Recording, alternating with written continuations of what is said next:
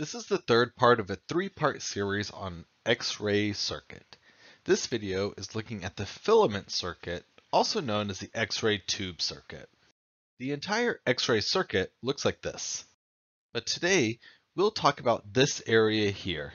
This area the X-ray circuit is the filament circuit, or X-ray tube circuit. There are two main components to the filament circuit the MA selector and the focal spot selector. The first thing we'll discuss is the MA selector. The MA selector is controlled by a device called a rheostat. A rheostat is a variable resistor that allows you to control current via your control console. Current is measured in amperes, so this device allows you to control the MA, or milliamperes, of your technique. Increasing the current will cause the filament within the X-ray tube to get hotter, which boils more electrons off the filament, thus having an end result of a higher MA. A step-down transformer is used in the filament circuit to increase the current by decreasing the voltage. Remember that as voltage decreases across a step-down transformer, current increases. Most X-ray tubes have two filaments. They're represented on the control console by the large focal spot and small focal spot selections. And that's the X-ray circuit. Putting what we've learned from the past three videos all together, we will see the basic operation of our circuit. First, at the control console, you'll select the KVP, MA, exposure time, and focal spot size. The KVP you selected adjusts the auto transformer.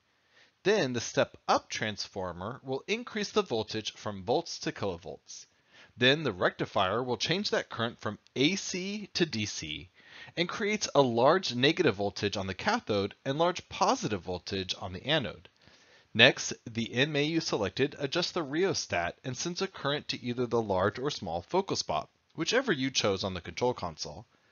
Finally, the current travels through the step-down transformer and into one of the filaments on the cathode. When you fully depress the exposure switch, the exposure timer will kick on and complete the circuit, allowing the voltage to be sent from the negative cathode to the positive anode. The bombardment of electrons from the filament to the anode surface produces radiation. That's freaking amazing. That's some Bill Nye level of understanding how we generate radiation. Finally, let's discuss generators and voltage ripple. In the second video of this series, we talked about half wave and full wave rectification. This graph represents full wave rectification. When we invert the negative half of the cycle, we see that voltage fluctuates from zero to maximum. This cycle from zero to maximum is called ripple. In the case of a single phase, full wave power, we are at 100% ripple.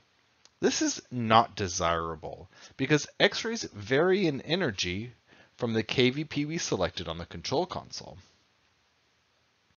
However, we can use a different kind of generator to decrease the amount of ripple.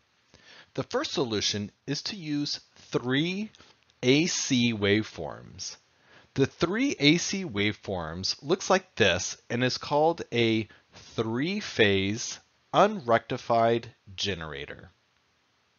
This type of generator produces much less ripple. Notice now that the voltage never reaches zero, so less low-level radiation is produced. But we can push this even further. What would happen if we took that three-phase unrectified generator and rectified it? So let's invert the negative cycle. Blam! Now we have a three-phase rectified generator that brings this ripple to about 14%. I know you thought 14% is good, but we can do even better. We can use a high frequency generator. A high frequency generator can reduce ripple to around 1%. This is the most efficient type of generator possible.